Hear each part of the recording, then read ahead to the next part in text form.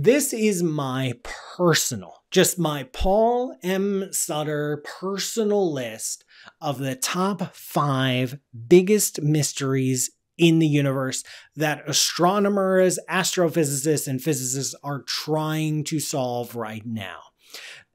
This list is presented in no particular order because I had a really, really hard time trying to come up with a ranking between them. So I just said, so it's just top five in general. Top five in general. These are problems that have been problems for a long time.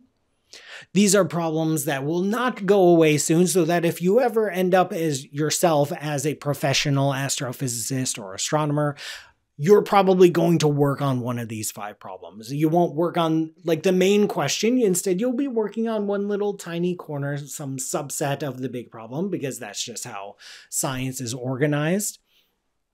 But I almost guarantee you that you will be working in some fashion along one of these five lines, these top five biggest mysteries in the universe. Number one, biggest mystery the nature of dark matter and dark energy.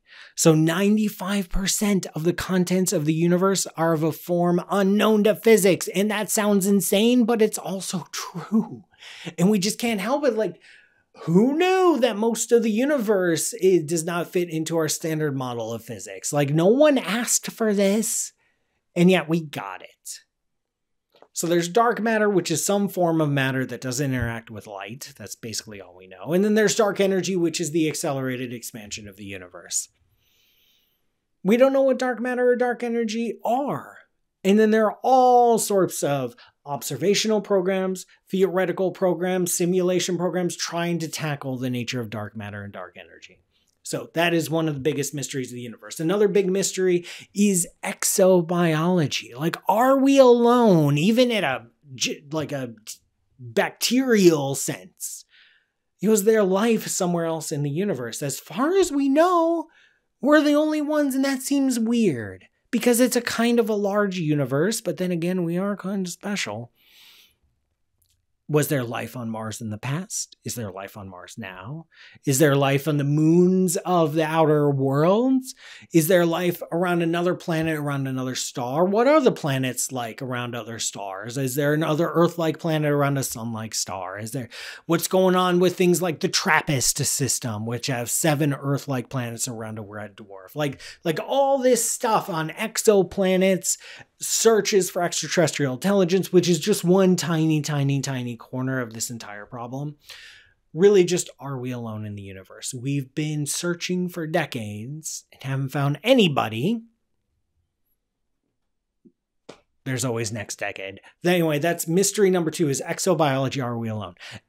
Big mystery number three stellar and galactic evolution. So we have broad brushstrokes of how stars form, how they live their lives, and then how they die. We have a vague sort of understanding of how galaxies evolve, how they assemble themselves from smaller galaxies, how spiral arms appear, uh, what happens during galaxy mergers. But there's so many questions like how exactly do stars form? What does that process look like, especially if they have planets with them? Uh, the detailed processes of stars eye. We don't know exactly how supernova go off. Like like we know the general picture but we don't know the the detailed mechanisms um in our simulations of supernova we we have a really hard time getting them to blow up. Galaxies we like when they when they interact with each other it's very very complicated. Uh they their interaction with their central supermassive black hole is very very complicated and not very understood uh how stars and supernova contribute to the evolution of a galaxy uh what globular clusters are doing when did they come along what did they represent so like all these broad questions of just how do stars live and die and how do galaxies live and die. I would say is big mystery number three. Big mystery number four. Remember, this is not an order. This is just a random list of five things that if you're a professional astronomer or physicist, astrophysicist, you're going to work on something along these lines. Uh, number four would be origins of the universe. What was the early universe like? We don't understand the physics of the first few seconds of the Big Bang. And then there are a lot of missing holes uh, along the line, even after those first few seconds. How did matter win out over antimatter? How did the forces separate from their early primordial state? Uh, is there any way of detecting that or finding evidence for that? Like, we just don't know. We don't know. Like, the, the earliest moments of the universe are almost entirely inaccessible to us observationally. So there's a lot of theoretical work, a lot of poking and prodding and trying to trying to get at that.